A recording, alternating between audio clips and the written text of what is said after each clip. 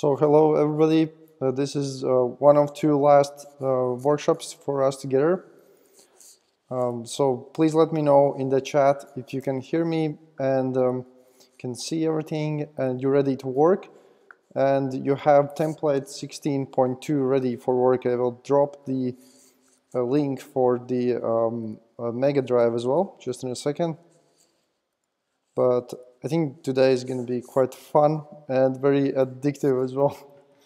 So I will explain that in a second. You think that sometimes gaming or programming is addictive. You have not seen what is the reinforcement learning. um, so I see one plus in the chat, so I assume at least one person is ready to work. Uh, the link for Mega is here. By the way, I started also grading the stuff and I saw that some of the, the works that were submitted um, were not working or had some issues. So just, just to make sure that um, I, am checking the actual uh, solution so it's not like if you just submit it and think that uh, you would get uh, the 100% score. So anyways, so today is going to be quite exciting and fun uh, session because the reinforcement learning, uh, so we will look at the, the, the Q value type of reinforcement learning and tomorrow the policy gradient is uh, something that you can use for almost anything like for the decision making or any other task where you can have uh, some kind of uh, input as, as your ground truth where you say that this is okay or this is not okay. You know, like uh, if you give the score or some like intermediate uh, reward, that would be perfect. But if you don't have it, anything uh, that you give the model uh, gives, um, you can learn, you can learn from anything basically. So the idea is that you see the game. So for example, in this case, this is um, computer game uh, of, I don't know, like Snake or something, and you add the convolution models. So you could imagine that you could have a, a camera that uh, looks at your phone and learns how to play a game, and the model then produces the outputs of uh, what you should do at every time step. And uh, uh, this, yeah, so the way I will add some other images about the way how it works and then the loss functions that are the most important things. And at any point, if something is not clear, please ask, because as I say, only two sessions left. So uh, the more you ask, the better chance of fulfilling the homeworks, uh, at least these ones. So, and then we will then we will end up with with this course. And those of you who are good at it and want to continue this, um, so please contact me, and we we, we can put together some research work for you, uh, either for the thesis or for uh, commercial stuff or whatever. So anyway, here there is the, the idea how it works. So we have an agent. We will also have a class agent today. So in the agent class, we have a brain, you know. so the brain is the model, uh, the, DQ, the, the deep learning model, right? And we have environment. So the environment this, this time going to be the open AI. Um, so the OpenAI uh, have Gym. This is an environment where you, where you can easily choose a lot of small games. OpenAI Gym, and we will work with Lunar Lander. So there is a very fun, uh, nice game where you need to land the uh, lunar lander, lander. So it's like on the moon, landing on the moon, right? Using the uh, just the so, so today we're going to use the discrete inputs but um, uh, but but but tomorrow we're going to use also continuous inputs. Uh, so the idea is that you uh, control your spaceship you try to land on the moon here on that part. In like in a moment when you start coding it you will see how it actually the game works you can play it probably with, with by hand but um, what we want to do is uh, make the agent learn the game so um, so it basically, so the agent knows what to do at any time step based on the inputs. So there is one interesting thing here. We are using the Markov decision process, Markov uh, the the decision process. So this is MDP, and there is a like partial observable and fully observable Markov decision process. What it means is basically very simple, that um, this current time step of where we are right now describes the whole game. So uh, this the idea that in the chess, like uh, if you look at the chess table with our, all of your um, your figurines on the, on the board, then that state of all of the all of the figurines on the board is is the uh, perfect representation of the game, and you don't need anything else. So what is not the perfect representation of the game is when you have some kind of history that is not represented in the current state, but is very important for the um, agent to get the reward. So if there is a history there, then you cannot use this kind of approach. Of course, the uh, deep learning type of models can have a, a, time series that we looked before, right?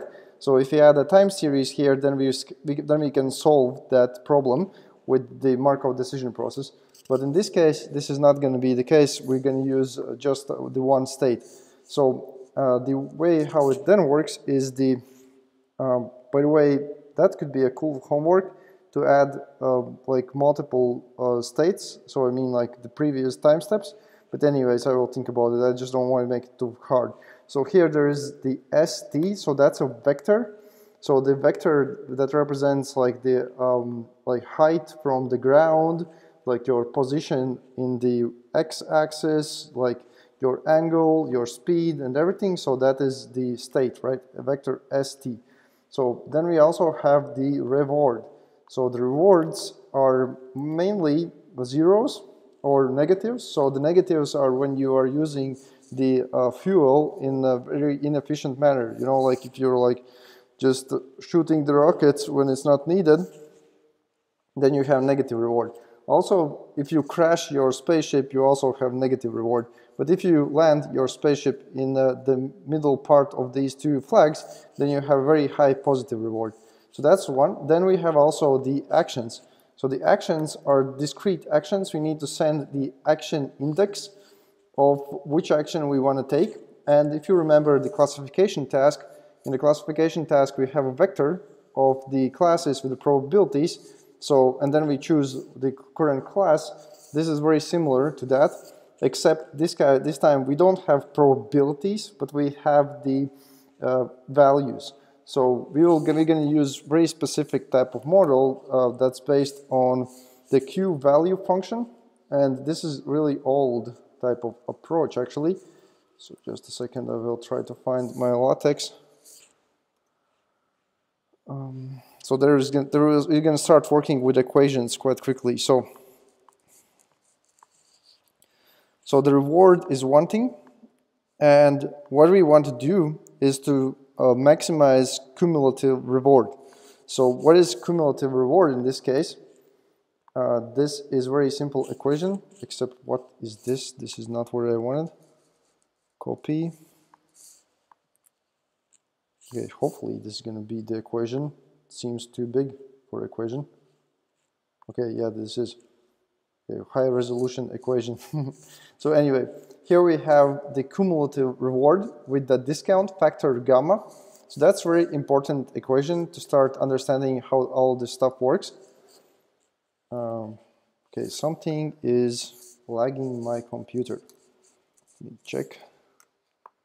Let's see which process is taking my resources. Mm -hmm. Not really sure. Maybe I, I was I will run some scripts for the grading. Maybe that one is taking my processes. Okay, I will close. Anyway, so the uh, cumulative reward. Um, so that is with regard to all of time steps, cumulative uh, reward. And this is discount factor, gamma, discount factor. So what discount factor means, by the way, if you see there is a, a like uh, it is uh, power of t. So it means um, the kind of uh, if there is a, if this discount factor is something like 0.5 or or zero or something like that, so the the more we square it, the the less effect of it we get. So what it means is that uh, how important is the rewards in the future. So what we want to do is that, uh, for example, for this game, like if we just make a small mistake when we are approaching the uh, moon surface, then we end up in terrible disaster. So that means that uh, the reward between kind of two time steps is very important. That's why maybe the uh, kind of um, the discount factor should be um, should be lower. So maybe a discount factor should be something like uh, 0 0.5, um, 0 0.6, 0 0.7. But in the games like mazes, where where for example you you go in the labyrinth and try to find the exit, and the exit is very sparse, maybe the discount factor should be much higher because it is very hard to find the the um, exit point, and uh, we don't want to diminish the value of that uh, event. So that event is very important. This is very sparse, very uh, very far away in the future. That's why the discount factor should be large. If the games are very reactive, the discount factor should be lower. So that's that's quite important stuff here. Then uh, already a long time ago, there there was um, before actually the deep learning. Uh, you started working with uh, something that's uh, that is a Bellman's equation. People started working with Bellman's equation. Okay, let's go next slide. And that is uh, the modeling of the Q function, Bellman's equation. So in this case, the idea is that if you have some kind of table that stores all of your states and actions, uh, or in this case, the Q can be also a model, but the Q could be also like, like, like Excel table or something. So if you can store all of our states and all of our actions, uh, like in columns, rows, and add the Q values, what is the outcome of that? So of course, this is not working with with like continuous variables. You know, like if there's a state is continuous, like in this case with 0.1 and, and so on, you cannot really make proper table. You, you might discretize it, but it will not be perfect. So, but if you could, if for example the states are very discrete, like maybe the states could be discrete in some kind of hashes of like games like chess or or or, or like uh, uh, checkers or anything else. So uh, that could work. And then, then you don't need deep learning at all. You just um, accumulate experience in those Q tables. So, and the way that works is that, that at, at Q table or the Q function at SA position, we want to add the uh, reward of this time step plus the uh, Q value where we have the maximum Q value depending on the action prim. So maybe I can show you more. So the if we just select Q, right, by the state of the next state t plus 1, so because we, we when we run our game, uh, we can look one state before, right, and that would be st, and the current state could be this one, and the reward could be this one that, that came from this state with this action, and for the next state, so we don't know which action we should take. So we, uh, we, we ask the Q table or the Q function, we ask what is the probable Q value uh, for every action. So for action 1, action 2, action 3. And then we choose that, which is the highest value. And then we plus it together and store in this uh, cell location. And the idea is that uh, gradually it would converge to have this kind of effect. So it would have this kind of effect. But also, of course, there is a discount factor here missing. But anyways, it would gradually go to that, that point. So then, uh, if we uh, try to apply this stuff for deep learning, Um, actually, it's not much different. It's just the only thing is uh, we replace that, um, we replace the table with the model. Uh, we also add the discount factor, so there should be actually added the discount factor. Let me add it. Um, I'm not sure, like original Bellman's equation, did it have the discount factor? I think it should have. Just a second, I will add it. But wait, the, the visuals of the DQN could also be improved. Okay, gamma. Okay, let's avoid some confusion. Add the discount factor also here. Whoa. Everything got frozen a little bit. Interesting. Okay. Okay, okay. We'll start coding just in a second. Anyway, uh, so if you have any questions, also ask, please. So um, here we have the loss function. So the loss function for the model Q, the Q value function model. And if you look carefully at this equation, so first of all, it means if the state is terminal, so the last state, T last, means uh, terminal state, terminal state. Terminal state can be positive or negative, so depending on the game, right? So maybe there is a game where you need to survive. And if this is the last state, the end of the episode, then uh, we just uh, want to use the uh, this last reward value here and uh, try to kind of fit it to, the, to that value that we have from the Q. Um, probably uh, this could be also a little bit improved when I'm thinking about it. Um, pro so I will I will make a like make a small test. I never actually thought about it a little bit. So uh, anyway, but the the the this this part is is the same as in Bellman equation, the first thing, and the second thing is just the mean square error. So MSE, you can see here. It could be also MS it could be also m mean absolute error, so it doesn't matter which one. So the uh, the mean square error part is just this model output um, subtracted from this part and squared, right? Uh, about this uh, second part, generally this equation should work, but I have ideas how to make it a little bit better actually. So uh, this is very basic DQN. Uh, it means um, it means it means um, well it's kind of lost it my mind what was deep uh, deep q network right so that that is the um, the way I think it was from 2015 the first time they use it deep q network with Atari games by the way Atari games are also available in the uh, OpenAI gym so that's quite cool. Anyway, let's move to the code. So I gave you the template for the lunar, lunar lander. As I, again, warning, it, it's, it's really addictive because when you start training it, you will see that uh, it's, some, it's kind of, you, you control it in some way. Another way, like the proper way how to do this is would be to make um, proper way would be to, uh, to make a grid search. We already have the arguments here. So the grid search and document everything with the CSVs and uh, like uh, plots and stuff. But if you run it one by one, it's really addictive. So anyway, here the you need to install the uh, gym. So up here there is a link how to install it.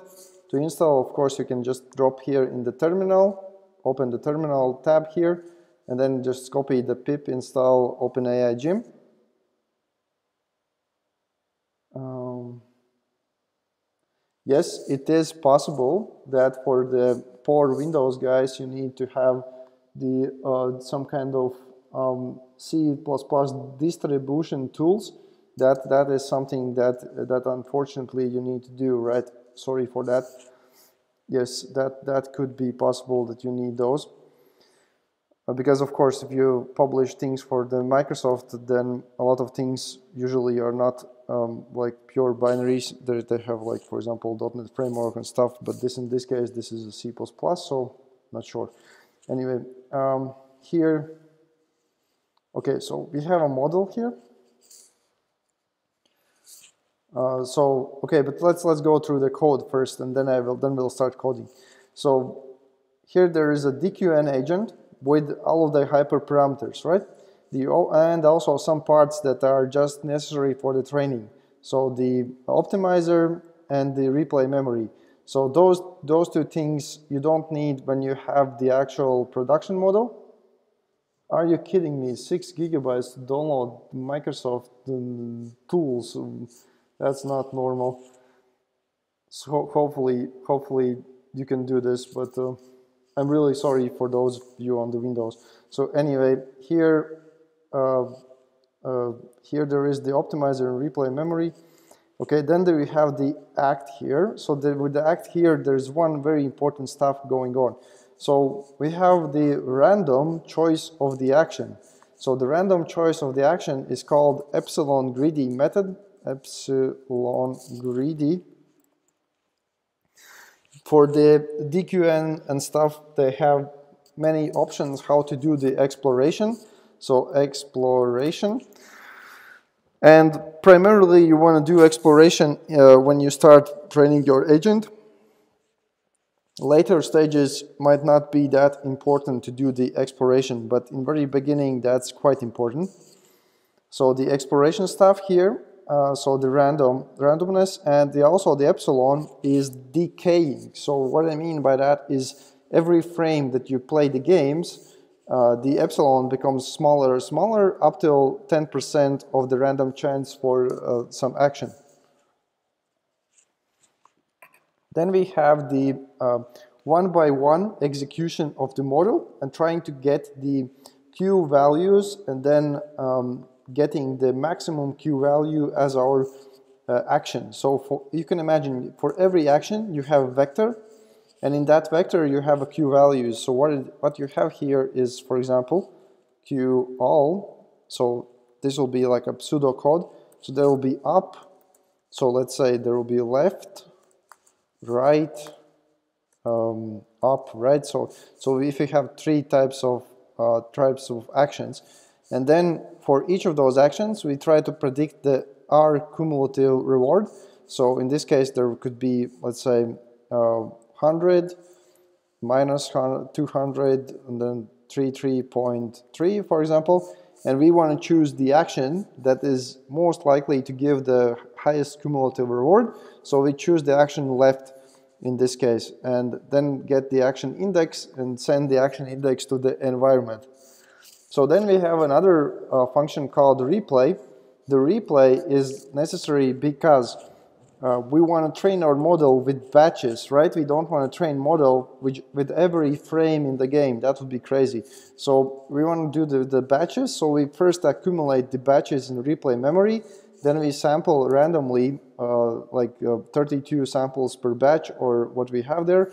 And then we run the loss function here and train the model on those data that we have. So what data we have is the state of the time step zero, action time step zero, um, then the reward time step uh, one, because we execute the action on the state uh, t0 and then get reward t1. Then we have also uh, the state t1, and also we have the flag for saying is this is the last terminal state or not. So that's what we have here. Then here we have the uh, environment setup where we just say that lunar lander should be loaded.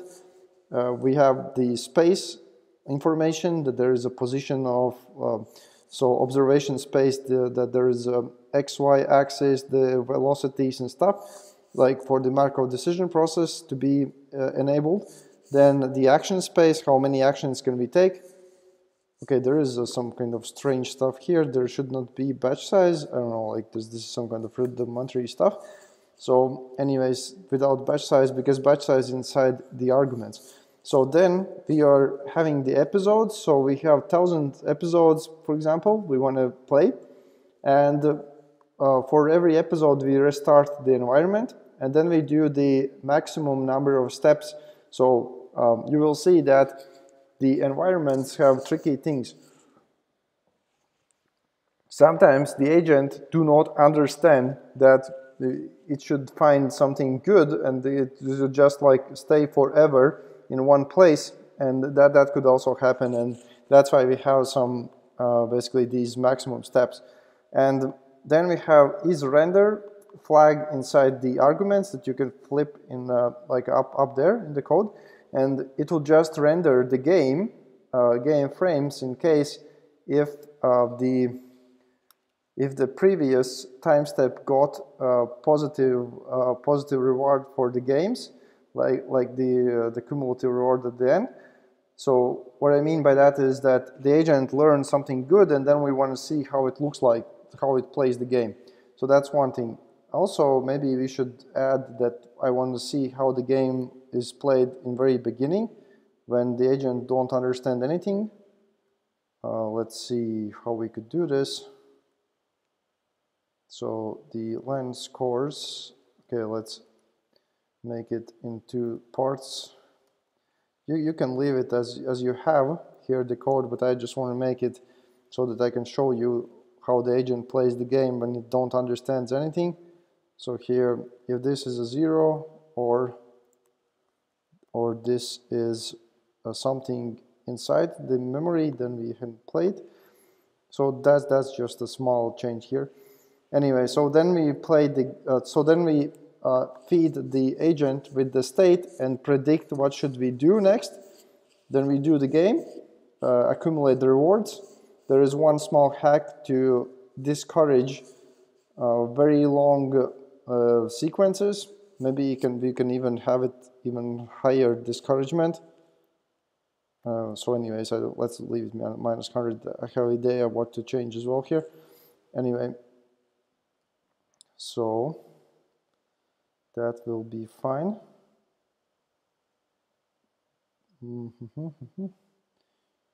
okay, okay, okay.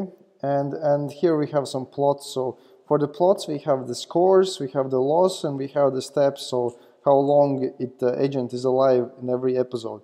Anyway, so to run this stuff for the first time, probably we should first implement the, the model itself. So the model can be anything actually. You can make your own model, what you want. So um, um, just because you can make it what you want, I will probably not show it in, not drop it in the uh. So you can, you just need to understand the basic idea that you have the input state, that is the input uh, of the linear layer, right? Where you have the uh, state size, right? Then we want out as a hidden size. Then, then we want to have something there uh, like a nonlinearity this could be leaky relu, for example. We could also have here to encourage a little bit better uh, like the convergence and stuff to add here the uh, layer norm, for example. Uh, so this could be the normalized shape because before, so we want that the hidden state for the for this layer would be centered around zero. So the layer norm kind of helps with that. There are different other norms that you already know that can also be useful. Maybe this could be also a group norm with some groups. That could maybe also be useful. Anyway, uh, and then a linear layer again. So if you want, you can add more layers. If you add too many layers, maybe it will not help as well. It will just, because the environment is super noisy already, and if you add even more layers, maybe it is even more noisier. So anyway, this, this, this is one, one option of the model. The input state, input state is the state size, then there is a hidden size, and then the action size. And we don't want to limit the output with a sigmoid or softmax or whatever, because the output values can be from minus thousands to plus thousands. Like this is actual Q value there.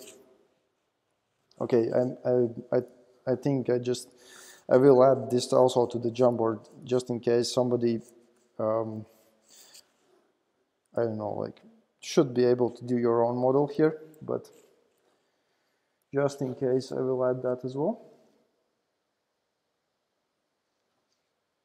So please do that one. And let's then uh, go to the uh, to the loss function. Okay, maybe just to make it a little bit uh, more synchronized today. So let me know when the model is ready. So is model ready? Uh, plus minus in the chat. If some problems, let me know. And meanwhile, I will do some experiment that I, that I had the idea to do when I was looking at that equation.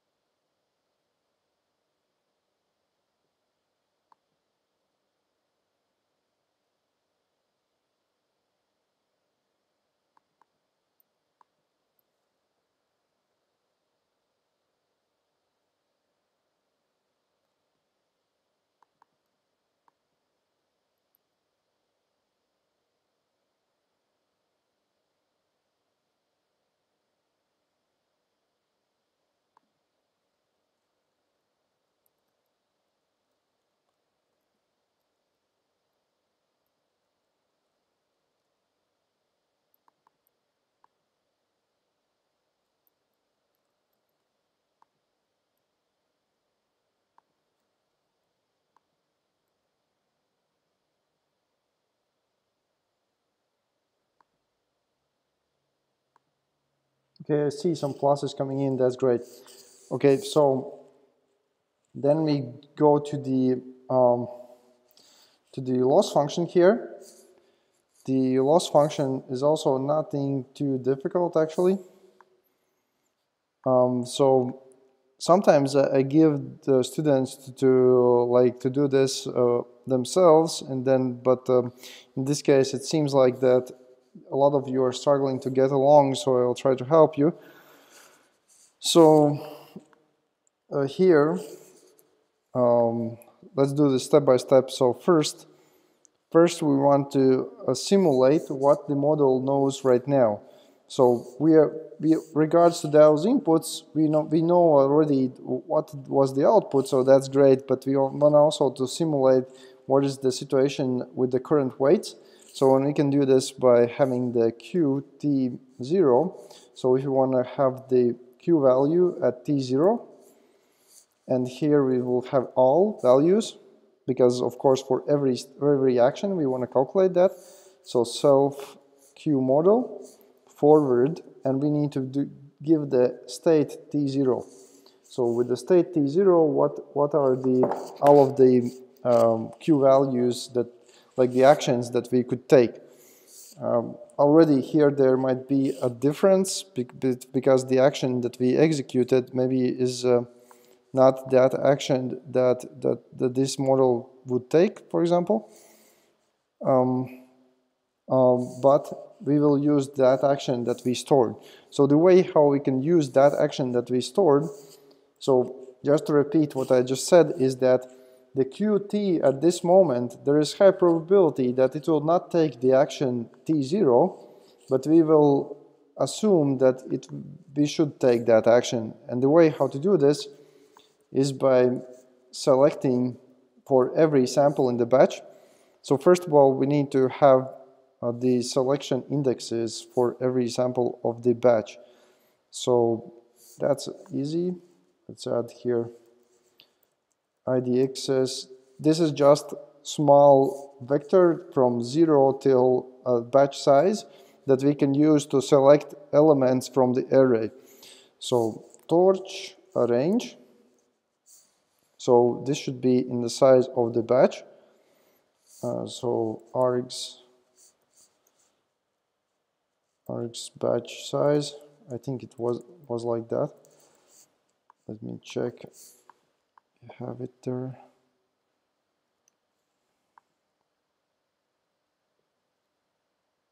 Mm -hmm. I hope it is like that. okay, it should be like that. The batch size, batch size. If, if it will not work, then we will fix it, but it should be like batch size. So then uh, this we move to device, so args device.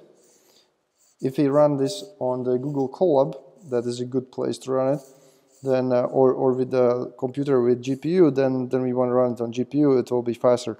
So anyway, that's one. So we have the indexes for every sample in the batch. So that's that's that's what it is. This is nothing nothing smart. This is just from zero till every sample in the batch zero, one, two, three till till batch size. We already did this many times with different types of the code, but in this case, um, the equations might be tricky to understand, so I'm just emphasizing it. So that's one. We have that one, and we are selecting the actual actions that the model take took in the history in the replay, not what is right now the maximum value. So that's that's one interesting thing here. So then we also need to simulate the T1. So again, we run the model. Uh, we could optimize this by concatenating S, uh, T0 and T1. But in this case, uh, just to make for simplicity, so I call it two, two times. And in this case, we don't know, um, we don't, so we could probably try to um, get the next action as well, but for this equation to work, we, we, we kind of take the maximum value that, that is there. So AT1, and this will be the argmax of, yeah, so Qt1 argmax of dimension 1. So the again, we have dimension 0, the batch size. Dim 0 is batch size because we are doing this for, with the with the random samples of the batch uh, from the history you know like we learned stuff from the history right? So that's one. We have this one at here at1 here and then we need to select qt1 qt1 and that we can select by the index itself. So qt all and then we select indexes a T1. So we have Qt here, that's great. And finally, uh, we need to calculate the, the, the final Q uh, value with regards to T1. So T1 final will be the R T plus, um, so here we can, we can make the equation of those two parts with an if statement just in one line. So what I mean by that is that is end flag is always, so is not end flag is always 0 or 1. So when the episode is not ended, it is 1. When the episode is ended, it is 0. So, and that's why we can uh, have this uh, vector as like a switch for that uh, if statement that I have on the slides. So that's quite neat trick to do this because otherwise then you need to have if, real, real if statements and uh, for every sample of the batch it might be different. So here we have this one and then we can use args gamma. Uh, so there will be the discount factor and here we want to use the qt1 so this one so we have this part ready that's great. Then we need to calculate the loss itself. So the loss, as I say, it can be mean square error, or it can be absolute error, or it can be anything else. Uh, so the Huber loss or, or whatever. So mean, and here the mean can be from qt0 minus qt final and squared. So if you think about it, what it is, it is that the model wants to slowly learn uh, with the small increments to uh, predict uh, uh the uh, cumulative reward for the next step that is in the future. So it, it develops intuition like this feeling in which direction should the, the uh, we do the actions to have the best reward for the future. So we are trying to fit the T1 to T0. That's quite a cool idea here. So if this works, I will drop this in the Jamboard. We'll try to run it. And probably we'll start seeing nice pictures in just in a second. Okay, it works, and I will show you the pictures as well. I don't know, like the first was the N, uh, N that's interesting. Okay, it's pro. Okay, the NaN is because uh, the loss vector is empty. Uh, I mean, like the the the list itself. So don't worry about that. So I will drop the replay function in the Jamboard, and then I will show you how it looks like.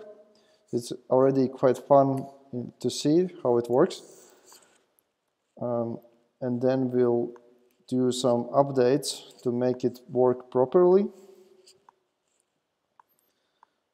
So the, the, the, the most important part, the loss function, the learning uh, function of the replay, I added that to the Jamboard as well trying to format it really slowly. I don't know why it's lagging so much today.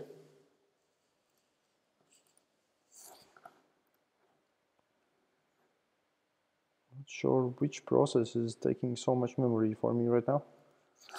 Okay, I should investigate that.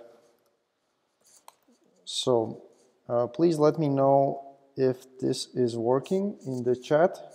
So, and I will show you how it should work is replay uh, mem learning working. So plus minus or what or some problems. So and then I will also show it how it should look like. So sharing the full screen now, running it. So it is running. See, this is how, how the agent behaved when it don't understand anything. It just crashed in the moon surface, right? So, and when, when the agent is learned something, it would not crash in the moon surface. It would, uh, it would uh, fly really nicely. So, and if you look at the, the scores and, the loss functions and everything, so first of all, we can see that the loss function is converging down. So that's kind of um, kind of good the, the steps of how long steps the agent is surviving in every episode. It's a, it's increasing. And the uh, the scores is uh, kind of uh, not really great right now but but it's it's hopefully getting better. And the learning is also very slow. That is also expected. So I'm getting error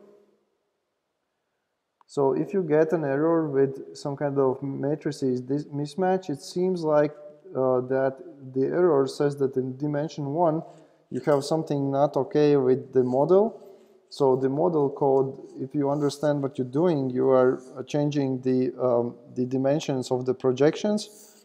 So you should, you should look at the model to try to solve the problem with the mismatched dimensions. Yeah, so if you have, yeah, that's right. I, uh, uh, so the GINS is, uh, is, saying that if you have some problem with the lunar lander, there, there should be installed the box2d. I already have that command in the uh, script up there. So if you look at the code, uh, we have the pip install uh, box2d. So you can install that one as well if necessary. but the if there is a matrices error, that's probably regards to the wrong dimensions of the model. And let's wait for some, some other people to get along with this.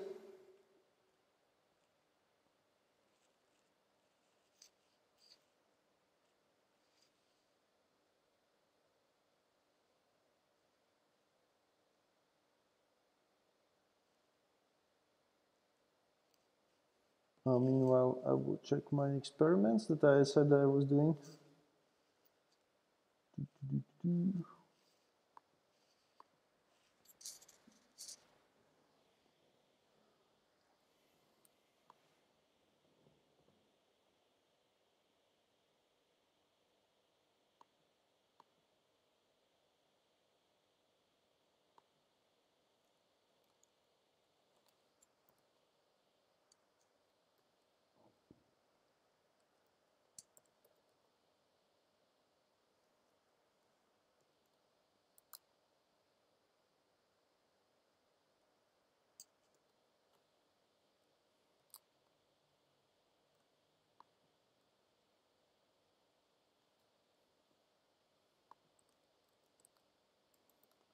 I'll check if um, okay so let me know if if this is working for you.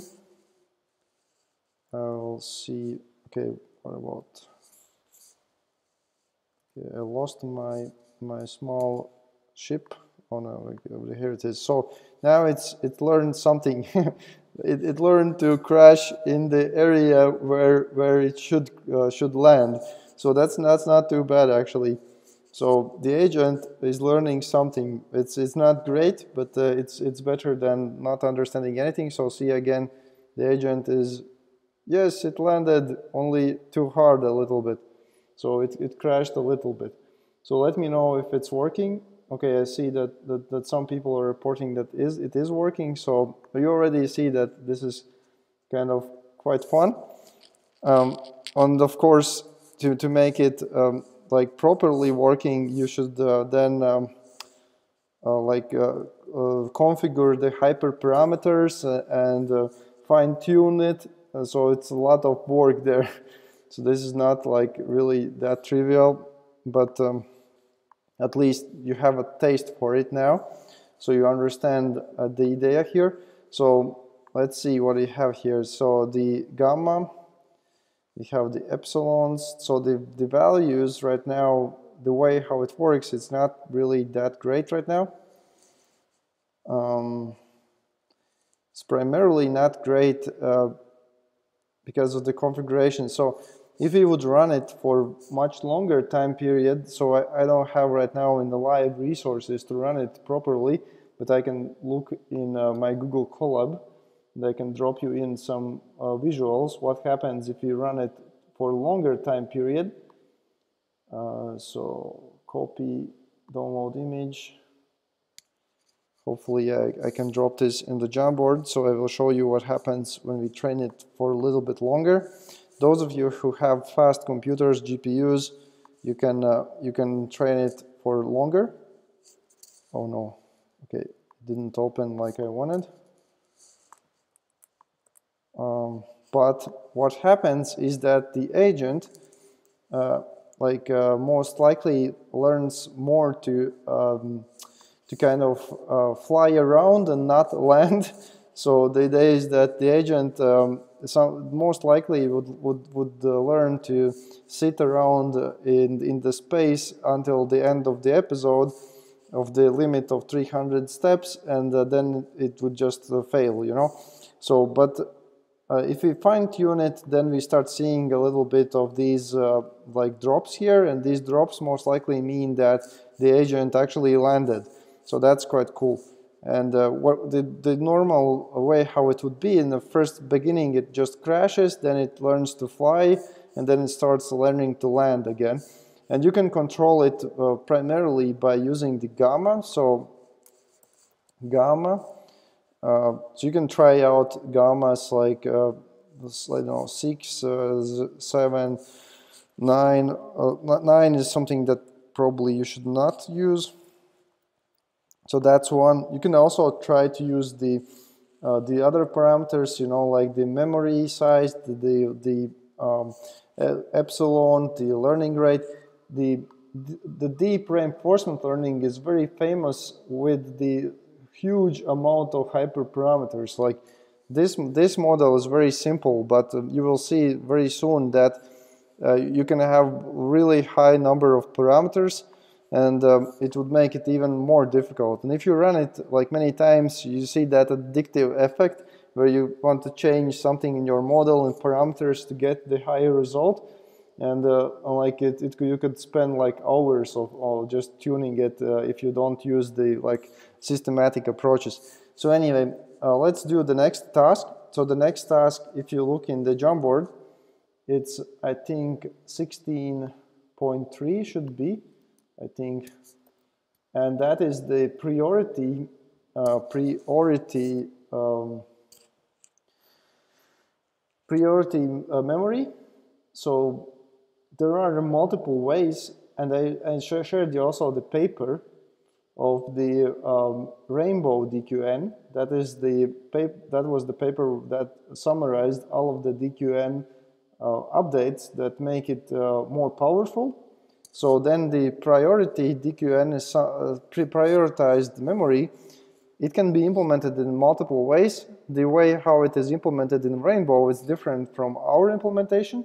So if you take the 16.3 template, and that template looks like looks like this. So it's just a one class of replay memory. So we add that class inside our code here. By the way, you should submit uh, this code if it's working to the 16.2 and then or save it as an additional uh, additional file so you can do the next one. So what I'm going to do, I'm going to replace the replay memory. So I delete replay memory and copy inside the uh, replay priority memory here.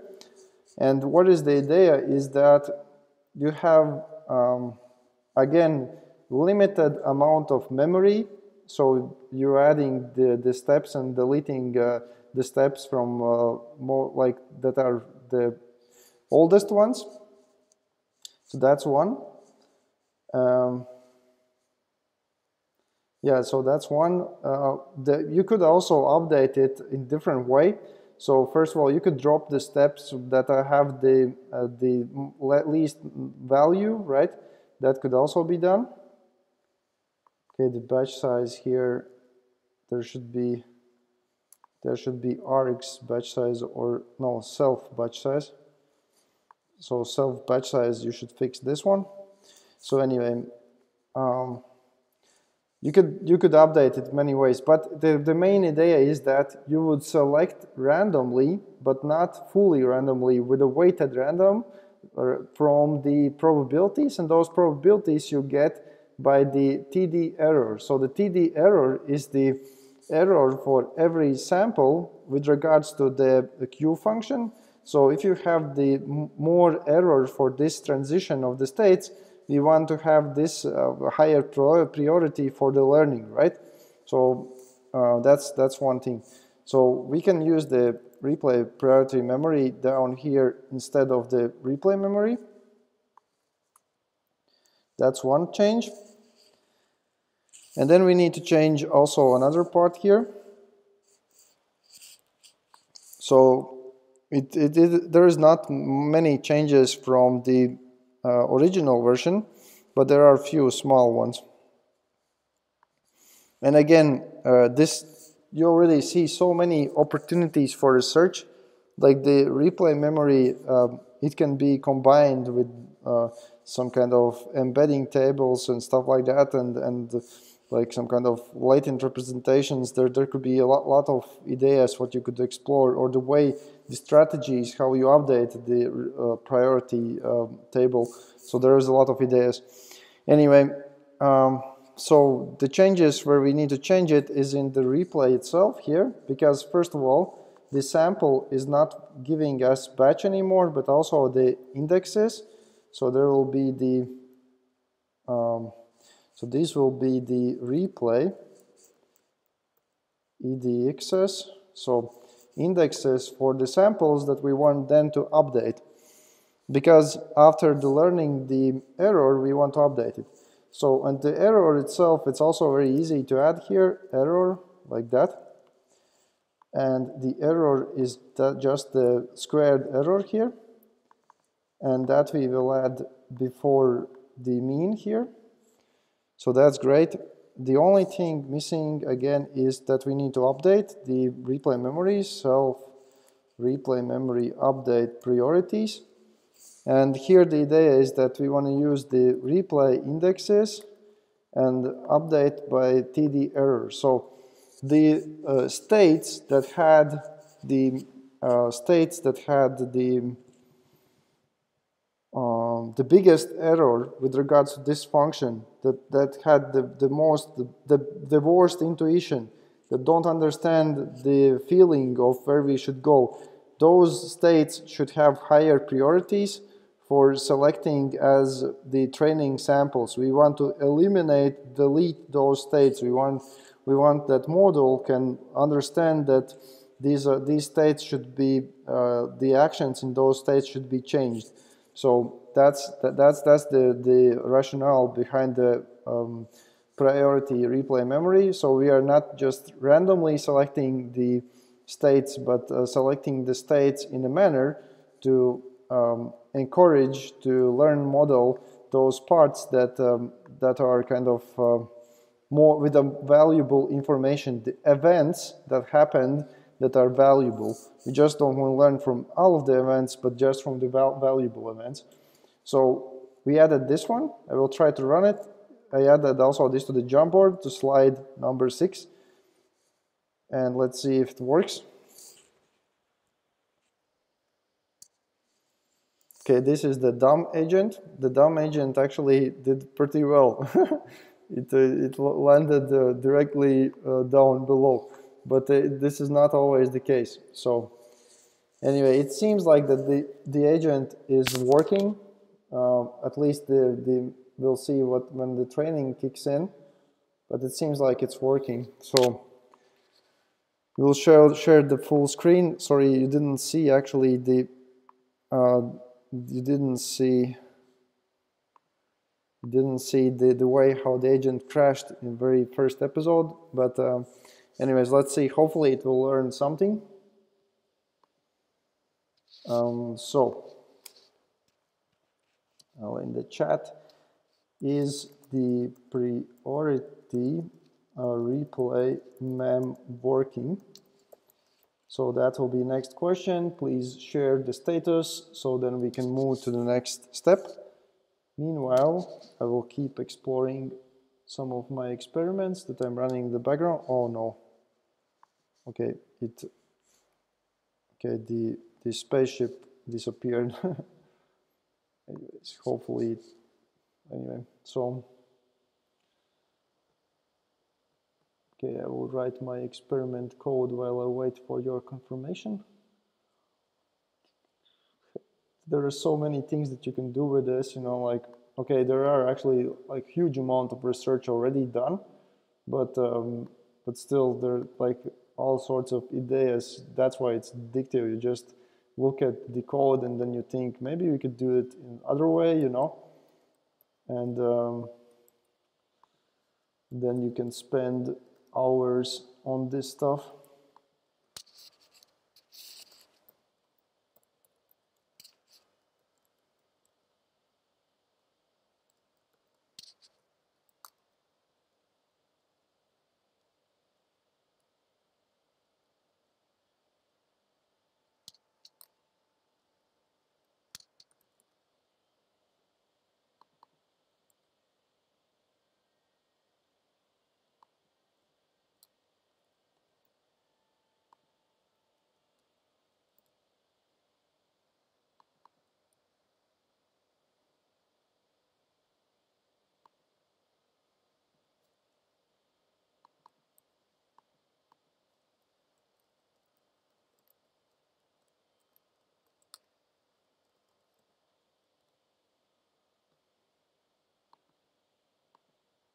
Okay, I see two pluses, that's great.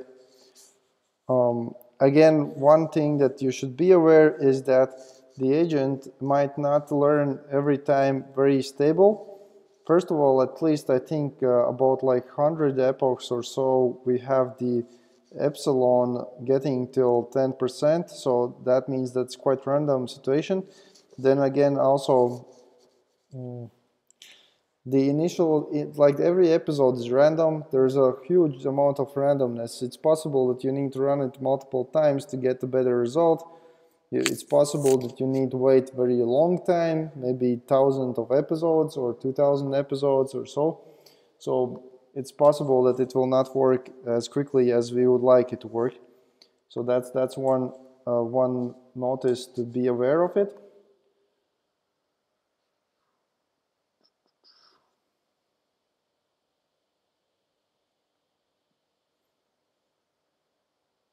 Anyways okay. So that's what we have here. Okay so let's move on to the next part uh, uh, okay if we train it for thousands of episodes you will see that the priority um, uh, should work better. I was hoping that maybe it would give results sooner but um, seems like that in my case it's it's not giving that fast results. Okay, the one thing that we could do immediately actually, okay, let's try it. So one is that we could reduce the, the um, effect of the gamma maybe. And so we can add six maybe. Just don't want to play with too much with this. Ah, the replay buffer size. Please increase the replay buffer size to 5,000 at least. So the 500 is very small. It's like almost uh, meaningless. So uh, the, again, you already see there are few parameters that change everything. So we have we have here about 10 parameters, but in reality, in these models, it's easily you can have 20 parameters. So and uh, these two change everything immediately. So one is that replay buffer size should be higher and the gamma should be lower, and the replay buffer size should be higher by magnitude at least, because now in this case, this is not anymore some random stuff. This is uh, like a little bit smarter way to select the, episodes. And if I run it again, hopefully now we will see the results sooner. I'm not guaranteeing that we will see perfect results, but at least we will see something sooner, hopefully. So this is the random guy. It flew over out of the window. And we'll see what happens with the best better, better models?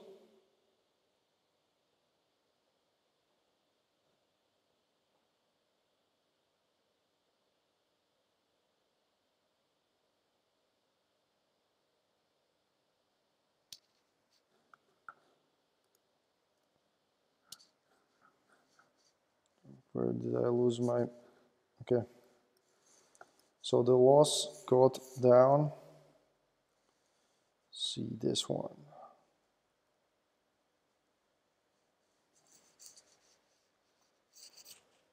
So loss converged a little bit.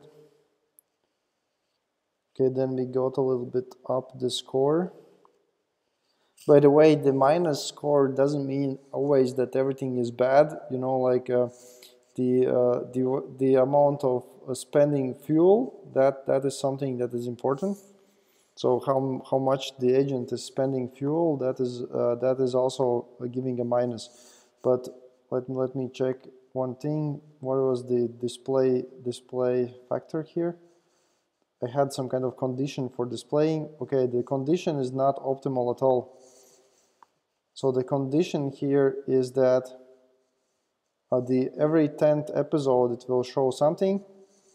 Maybe this is not optimal. So let's rewrite it. I, I just want to see some results sooner. I don't want to wait for, for so long time. So let's see. Okay, the, the, when we have no scores, we will look at this. And let's have also when. Okay, when we have uh, all true of selecting last last if we have two, two episodes with the positive score, if we have two episodes with positive score, so that means uh, in this case IT is over zero for IT in this, then I want to display my agent. Okay, what it is like that, here like that, okay, cool. So I will add this line of the code to the um, to the Jamboard as well.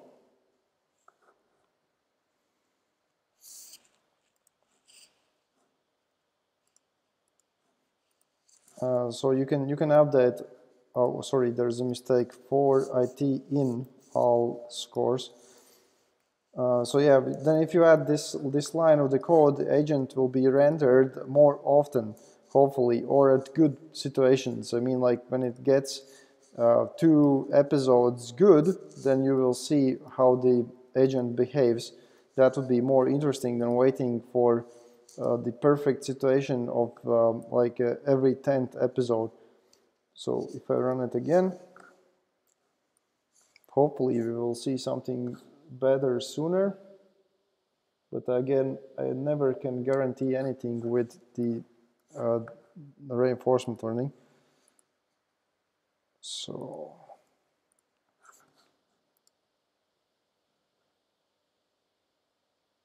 Uh, the one thing that also you already understand that reinforcement learning, the loss is not looking as in the classification tasks and other tasks, you know, where the losses losses converge very nicely.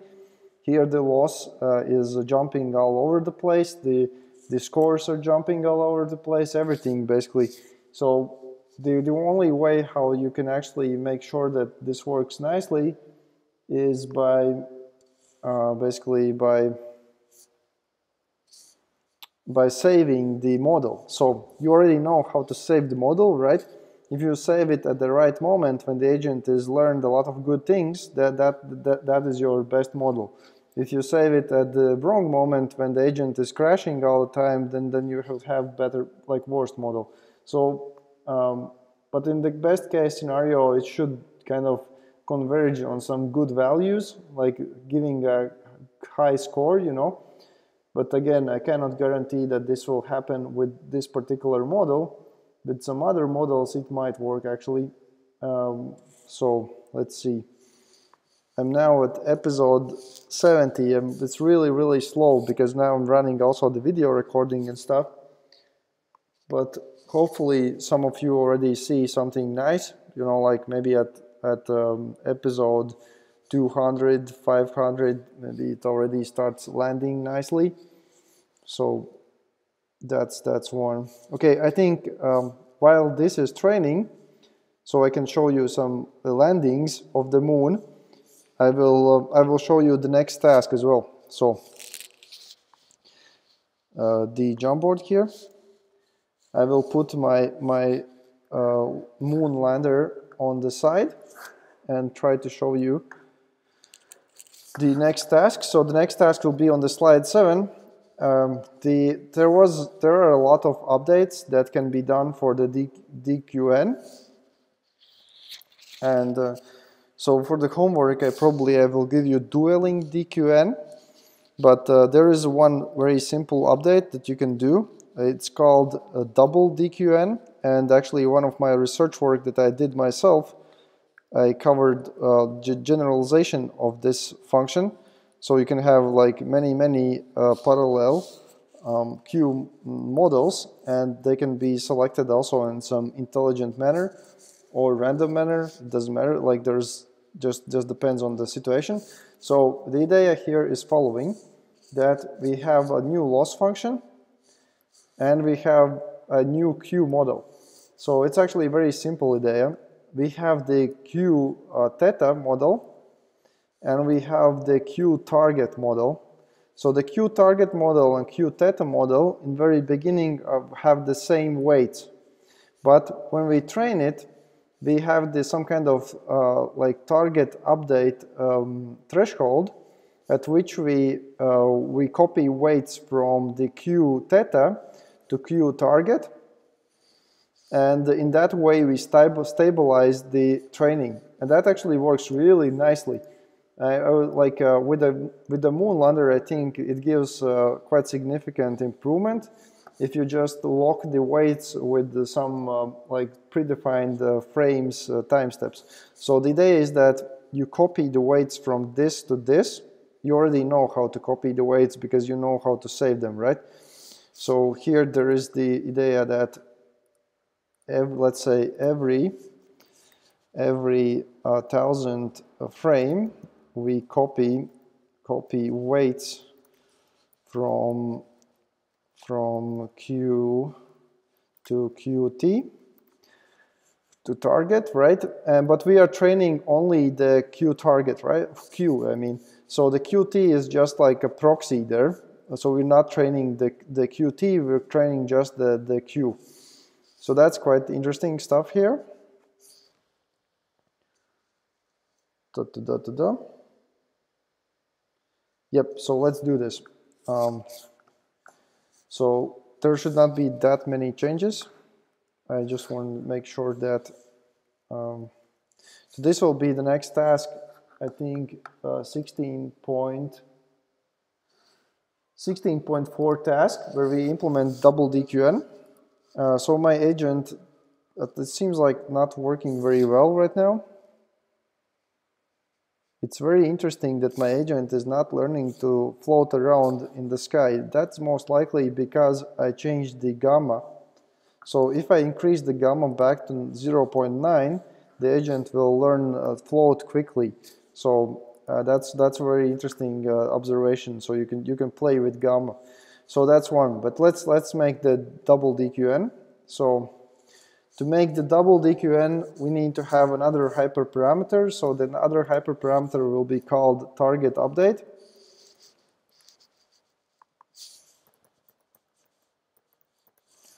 So we will update, let's say, every, um, let me think, what should be a good value. I will double check what did I use before. Every 3000 frame. I will also update that on the uh, Jamboard.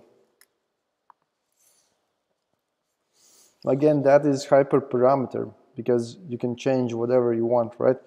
So that's one. Um, then we will initialize model twice. So the model, where is the model? Model, model, model, here.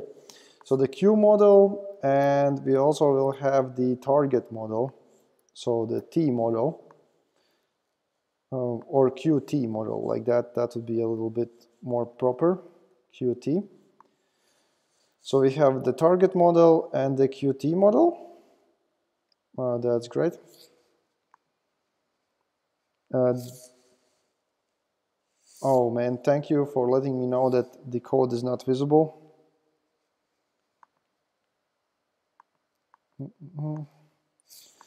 Okay, so what I added is just this line. I copied the same model uh, twice, so I will also drop here another line of the code with regards to the copying the weights. So let's see, uh, there will be the def update uh, qt model. Wait, update qt model. There's going to be this function. So the how we update it is by using the qt model uh, load state dictionary from the self q model uh, state dictionary. And we also want to update it here. Self updated here. So I will copy this this part of the code to the Jamboard uh, and also mark those few places where we had the changes really few places is not too much and I added also to the arguments the, um, the how, how, how often we should update that model. So I'll also add that line as well in a second. So this is in the Jamboard already on the seventh slide, and I also added here this small line of target update. So that is just uh, how often should we update the target model.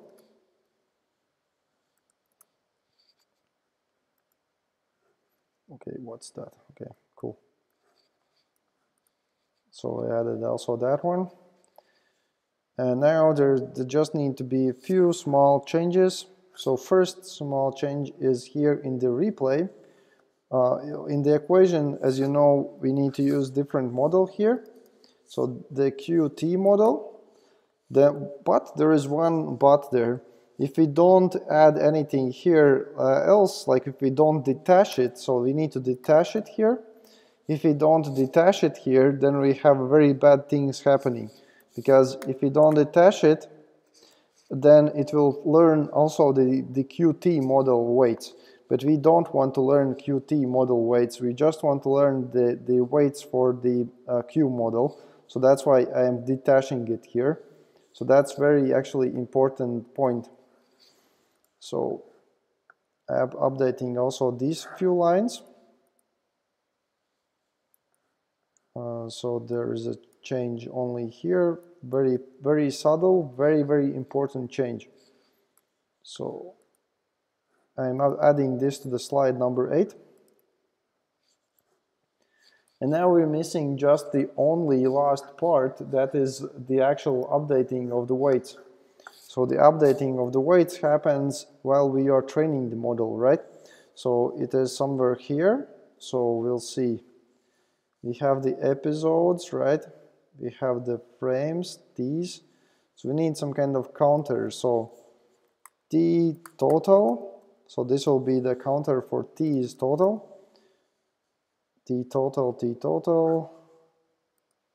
And if we add here t total plus 1, or maybe I will just add it on top part of the code so I can include both, both parts here.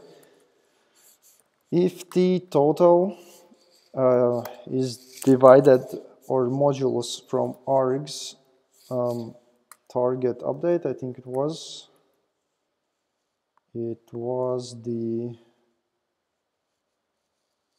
uh, target update, yes, target update.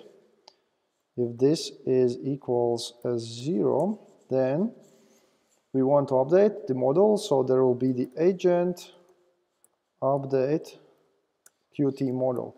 So that's about it, like really subtle, subtle, really small changes, very important ones. And you can imagine, like, it's, it's not much that you actually changed, but if you add those changes, you can publish your, your research and uh, like you also need to kind of uh, collect and prove that, uh, collect results and prove that that is actually better than the other models.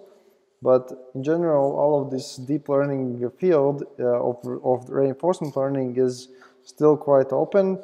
There, again, these are very basic models. There are much, much, much stronger models already uh, existing. And tomorrow we're going to look at another direction of the reinforcement learning using the policy directly without any Q-value functions at all. So there, there are ways what to do actually. So this is not the only way how to do this. Uh, so let's see full screen. Okay, uh, let's see. Maybe we will get something good here. Um, let's wait for, for somebody to report that the uh, DDQN is ready. If there are some problems, let me know. And that's going to be the last task for today. Um, you could try to make it uh, train so that you get nice results. You can try other environments. So if you look inside the, if you look inside the um, the the uh, OpenAI Gym, right? In OpenAI Gym, you can find really nice environments. So let's see, what is where did I lost my spaceship? So that was the crashed version. And um, so what you can also do is to try to use uh, maybe other loss functions, the not only the uh, the uh, mean square error, you can use, try to use mean absolute error and stuff. Um, because if, uh, if, you remember that mean absolute error is less less uh, prone to the outliers. So and uh, in reinforcement learning we have a lot of outliers. So a lot of events can be very unpredictable. So that's why maybe the mean absolute error might be better than mean square error. So you can try out that one as well. Again, as I say, this is quite addictive. You can uh, play around with this for a long time to get higher results, like just to get higher uh, the, the result there. So that's about it for today. I think I think this is quite fun. You know, you can add. There is a lot of other games. There is the um, the uh, mountain car game, also very fun that you can try out in the um, this this how it's called the the OpenAI gym. Uh, you, you can also uh, design your rewards a little bit. You know, like for example, uh, we know that we want spaceship to be closer to the ground and not learn to just float around in the air, right? So if you have a situation when the spaceship is just floating all the time in the air and don't understand that it should start uh, approaching the ground, you can maybe uh, design your reward uh, or the gamma. So there are two ways to do this with gamma, and that's, that would be a cleaner way to have uh, like a little small nudge towards direction of uh, approaching the ground, you know. So there are a lot of things you can try it out. So let's see what we have here. I just want to make some uh, episodes that we can observe nicely. Uh, so the 100 episodes, this is really a not long period. We definitely can do much better. Uh, but my computer is really slow right now. Let's see what, what we can do. Let me think. So we have some good episodes here, 22 score, but I don't see them because primarily I have this uh, constraint that I want to show the episode only when we have at least two good episodes. Hmm. So let's wait. Hopefully we'll, we'll get uh, something nice today.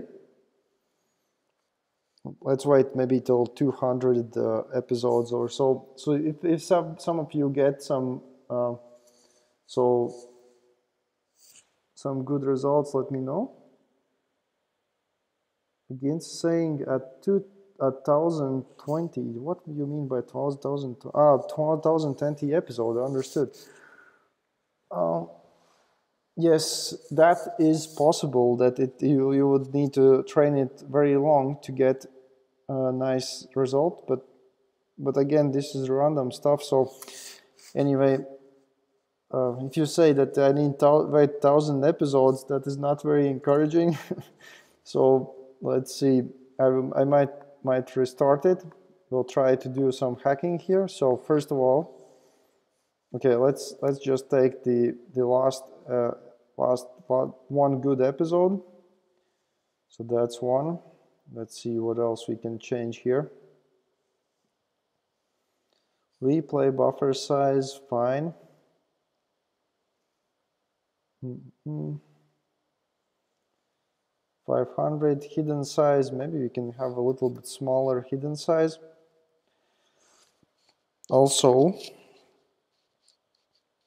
small let's make much smaller hidden size the gamma a little bit um, maybe a little bit 0.7 then maybe I can make a little bit uh, interesting model so let's see if I add additional layer I don't think that that uh, that I mean more additional layers would give me better results but maybe one additional layer would help with the small hidden size if there's a huge hidden size then definitely that would not help. So it, it would just take much longer to train, but let's see. Maybe with the smaller hidden size, it would help. Also, the batch size, maybe the batch size could be uh, larger, or, or now it's 128. It's not too bad, actually. So let's see what we have. I hope that I don't need to wait thousand episodes. If somebody finds the parameters that gives the results faster, because before the this session I tried tried playing around with it a lot actually, but uh, it always converged a little bit uh, like longer time period needed. So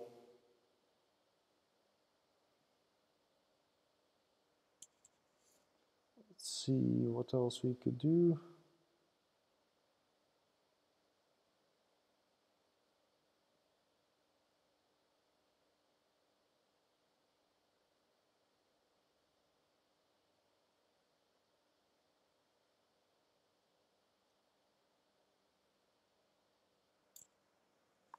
Oh no, it actually like, I guess it played, but I didn't see it.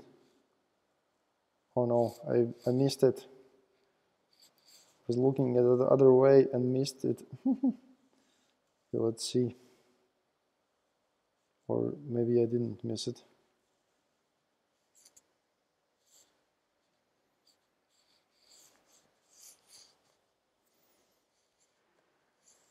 With this configuration, I think I have seen it that it, that it works after about like 200 episodes or so. So let's wait a little bit. Hopefully we'll get something. If not, then we'll then we'll end with, with the option to for you to explore it yourself, but it should get something soon. So normally what, what is uh, happening is that the loss function in, in beginning it's kind of converging, then then it's uh, uh, with the with these time intervals where we are updating the Qt, right? In those intervals we should see some uh, jumps in the loss function and uh, then it again converges, jump, converge, jump, converge and stuff like that. Also maybe the uh, epsilon might be smaller or larger like it's really hard to, to determine the best situation. So, so far today, before the, uh, the session, I, so when I run it, I observed many times this situation that the agent learns to uh, float around in the air forever. So uh, that's, that's something that uh, you should be aware of. If, if that happens, you can try playing with gamma, with the uh, rewards and stuff like that. So now it seems like that it's starting to float around. Okay, the one thing that I see that is not optimal is that we have 500 steps. Maybe maybe it's too much. Oh no, yeah, the agent. Oh, it flew out of the range. So there was one good score here, uh, 194. There was this one, so that's that was ni nice run here. Uh, but we definitely could could, could do uh, could get uh, more nice runs. Okay, the one yes, no. so we have already two nice runs. That's great, but um, but the agent is still not very smart, unfortunately.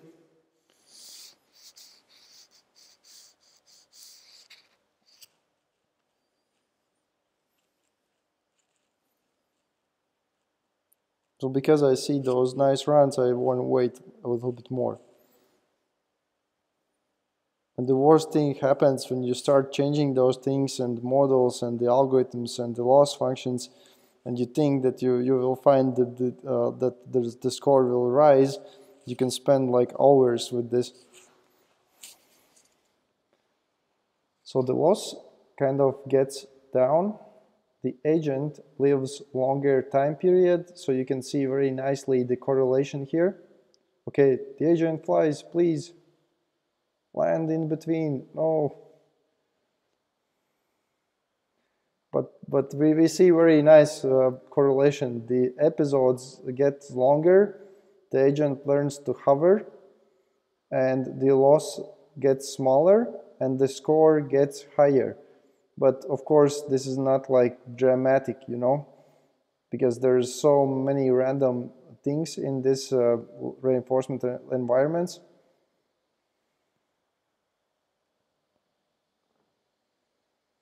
Um, so again, another thing somebody could research is the, that right now we have a very naive way to update the, uh, the target uh, model so maybe you could look up if somebody have already researched uh, smarter ways to to have like a better better like periods of when you should update the target model and also um, maybe you should have set of target models and how to choose them uh, for the loss function. So there's a lot of ideas that, could be explored. But I want to find, see if we can get some nice landing If somebody gets a nice landing with some configuration, please type in the chat at what uh, episode. I see that, uh, uh, okay, we have, we have landing, right? The other, so almost. Again, you're starting to hit good, good runs.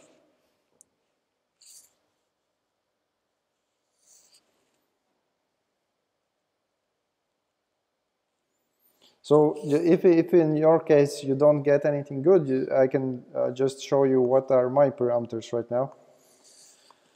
So I have target update of 3000, hidden size of 32, uh, the gamma of 0.7, and the uh, model looks like this with the two, uh, two hidden layers there. So that's what I have.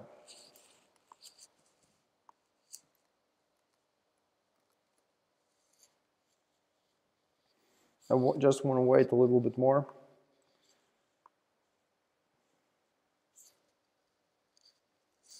Uh, so again, if you get some nice results, please type in how long did you have to wait.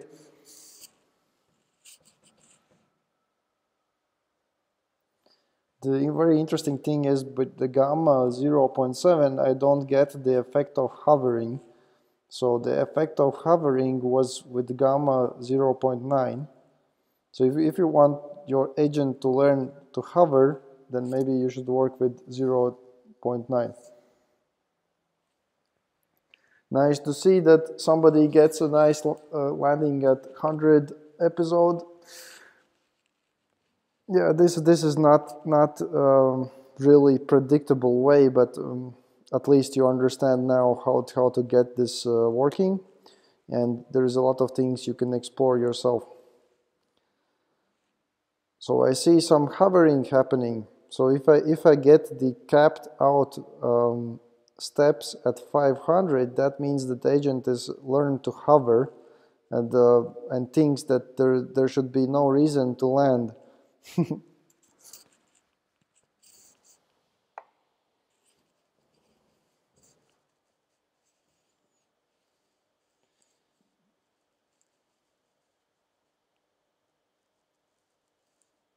Another thing that can, can be probably helpful is to maybe have larger, uh, larger uh, replay memory.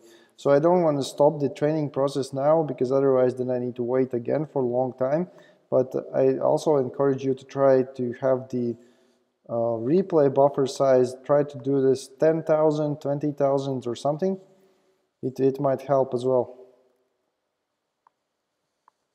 I mean like uh, you would get some uh, some values that would be useful.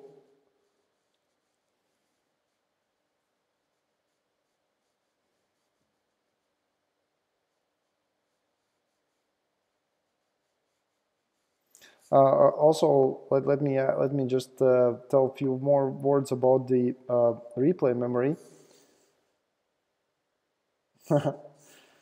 Uh, so the replay, replay memory uh, right now, the new priority that I'm giving, it's like the mid median priority of all everything else that we have ever seen so far.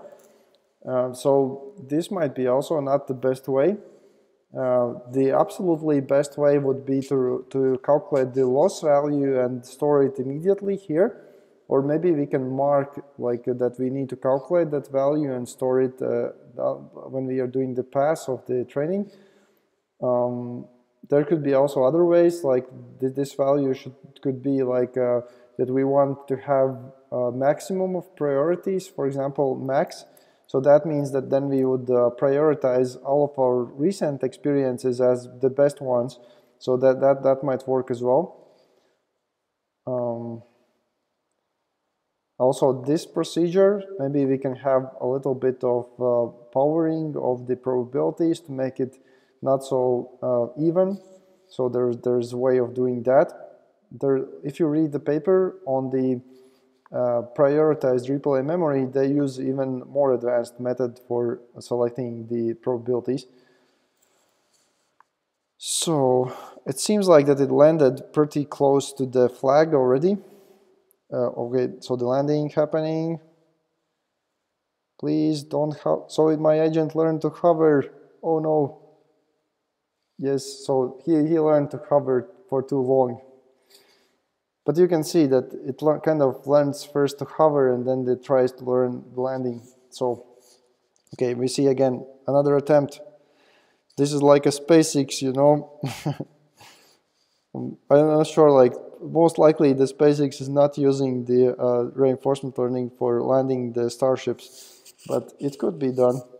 So anyways, that's it for today. Uh, hope it is a fun, fun thing to end all our uh, like research together. So tomorrow we're to look at more advanced uh, reinforcement learning model. Maybe it's not actually that more advanced, but it's a different way how to solve the same uh, so same problem and a little bit different problems as well. And then you will have time up till May end of the May to submit all of the homeworks. I already started grading them, and then we'll end the course. So that's that's it uh, for today. Hope it is uh, fun and interesting, and we'll meet tomorrow.